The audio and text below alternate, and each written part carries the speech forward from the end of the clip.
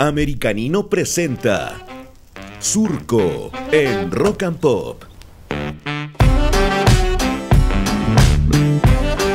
Cuando un artista eh, se da el trabajo de grabar análogamente, trata de generar todo un ambiente en el estudio, en el trabajo de postproducción que hacen después con el disco, para que suene lo más fidedigno posible, yo creo que uno debería acercarse a ese formato más original yo te diría que el origen parte un poco desde la familia, desde mis hermanos que me van transmitiendo esto y que me lo van dejando eh, pequeños rastros y pequeños pedazos de música que yo voy recogiendo, hasta que de repente sucede este catalizador que yo te digo que fue el concierto de Bowie el 97. De ese minuto yo dije, no puedo hacer otra cosa que no sea dedicarme a tratar de entender esto. No hacerlo, no copiarlo, pero tratar de entender de mejor manera lo que significa de ahí para adelante. Mi pega ha sido eso, poder llevarlo a tierra y poder decir, bueno, por qué camino vamos a andar, dónde vamos a conseguir las lucas, cómo vamos a hacer, vamos a hacer de esto un proyecto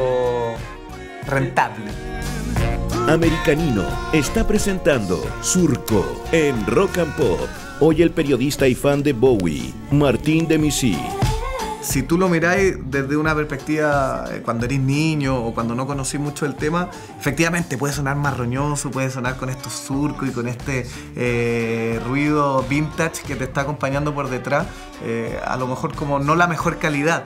Pero una vez que entiendes la música y una vez que entiendes el trabajo, el significado, el espíritu, la dedicación que existe en cada disco y, ni siquiera en cada disco, en cada canción, efectivamente cuando uno logra entender eso, te das cuenta que el formato original cobra mucho sentido. Chile todavía tiene esa posibilidad de poder encontrar, cada vez cuesta más, pero poder encontrar algunas joyitas que aquí en Chile nadie cacha y que te las venden a precio de huevo porque piensan de que es un, disco que está eh, gastando espacio en la estantería. Americanino presentó Surco en Rock and Pop.